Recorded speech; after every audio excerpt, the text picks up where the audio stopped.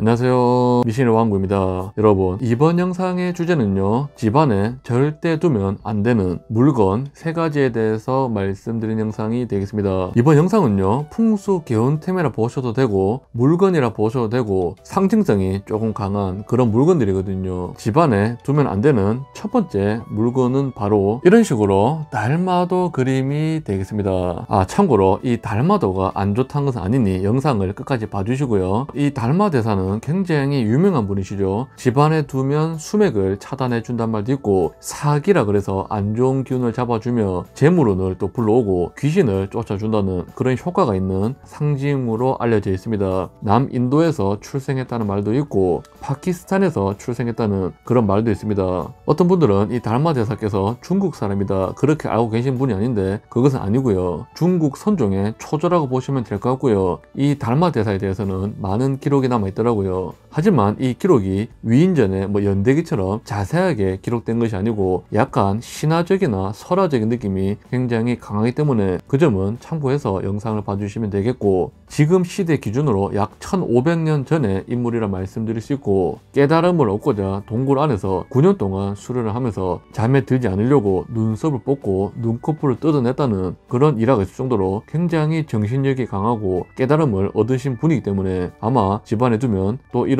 안 좋은 기운들을 잡아준다고 알려진 요소가 있고요. 직지인심 견성성불이라 말 그대로 마음을 있는 그대로 바라보면 네 자신이 곧 부처란 것을 알게 될 것이다. 분석이라든지 사상보다도 나를 있는 그대로 바라보면 깨달음 얻을 수 있다. 이런 식으로 말을 남기셨는데 인생을 살면서 불필요한 것에 시간을 쓰지 않고 진리를 깨우치고 많은 사람들의 삶을 일깨워 주고자 노력하신 달마 대사기 때문에 집안에 두면 우환을 잡아주고 수맥을 차단해 준다. 그런 식으로 알려졌다고 말씀드릴 수 있습니다. 물론 이 외에도 많은 가르침과 많은 일화가 있지만 오늘은 간단히 말씀드리기를 하고요. 자 그렇다 하더라도 저는 상징성보다는 실용성을 중요시 여기는 사람입니다. 그래서 이 달마대사가 아주 유명하길래 제가 많은 집을 방문하거나 많은 가게를 다니면서 이 달마대사가 걸려지는 것을 유심히 살폈는데 공통점이요. 망한 가게나 망한 집에도 이 달마대사가 있었고 잘 되는 집에도 이 달마대사가 있었다고 할 수 있습니다. 그래서 제가 말씀드리고 싶은 것은 만약에 달마대사 그림을 집안에 두고 기분이 좋다 그러시면 두시면 되고 이왕 두고 싶으면 수행을 오래 하신 그런 스님이라든지 아니면 소위 말하는 내공이 깊은 그런 역술인에게서 받은 그런 그림을 두는 것이 좋다 할 수 있는데 하지만 제가 이 많은 자료들을 찾으면서 좀 아쉬웠던 것은 이것이 현대에 내려오면서는 달마대사의 가르침이라든지 아니면 어떠한 개운이라든지 행운을 불러온 것이 아니고 조금 상업적으로 변색이 된 그런 것을 느낄 수 있었습니다. 그래서 아무리 내공이 있는 분이라 하더라도 이 달마대사 그림을 몇 백만 원이나 몇 천만 원이나 그런 식으로 너무 고가의 그림은 굳이 둘 필요 없다는 말씀드릴 수 있고 어디까지나 선행, 진리, 그리고 깨달음, 집안의 우환 이런 것을 제거하는 용도이기 때문에 너무 과한 것은 좋지 않다고 볼 수 있습니다. 맞죠 여러분? 본인이 열심히 수련해서 본인의 이름을 따서 본인이 예를 들면 부족을 써주거나 그런 것은 금액을 뭐 비싸게 받든 본인의 자유지만 이 달 마대사는 이미 돌아가신 분이고 가르침을 주신 분이지 본인을 팔아서 뭐 돈을 벌어라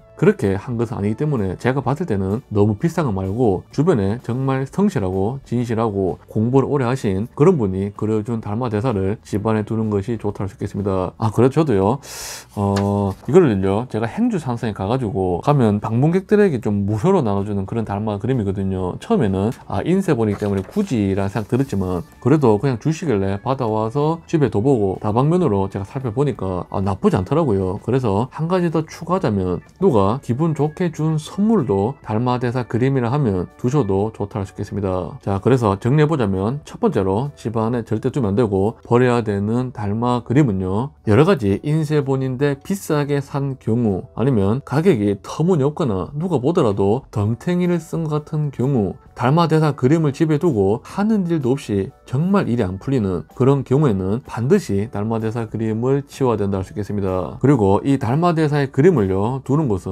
반드시 형화방에 두시거나 집안에 안 좋은 살기들을 잡아두는 것이 좋다고 있겠습니다. 목덕방은 굳이 두실 필요 없고 형화방에 안 좋은 기운들을 조금 잡아줘야 되는 그런 기운들이 있거든요. 복덕방이 뭔지 모르겠다 형화방이 뭔지 모르겠다 그러면 또 설명드리면 시간이 길어지기 때문에 제가 유튜브에 한 세네 번 정도 올려드렸거든요. 댓글을 참고하시면 충분히 이해하실 수가 있을 겁니다. 두 번째, 집안에 두면 안 되는 물건은요. 이런 식으로 호랑이라든지 사자 그림이 되겠습니다. 참 고로 이 호랑이 그림을요, 제가 집에 두는 이유는 제 사주에 이 인목이라는 요소, 호랑이라는 요소가 도움이 되기 때문에 두는 것이고요. 그것이 아니고 예를 들면 원숭이 띠라든지 아니면 뭐 닭띠라든지 돼지띠라든지 그런 식으로 이 그림과 상충하는 그런 띠의 분들이 이 호랑이를 두시면 절대 좋지 않거든요. 하지만 이 영상을 보시는 대다수의 분들은 사주를 잘 모르실 겁니다. 그래서 제가 말씀드리고 싶은 것은 지금 일이 잘 안 풀린다. 뭐한 일만 잘 안 되고 뭘 시작되면 잘 안 된다. 그리고 건강이 안 좋고 특히 간이라든지 허리 그러면서도 약간 좀 사고가 많이 난다. 악몽 많이 꾼다. 그런 분이 계신데 만약에 이 호랑이 그림을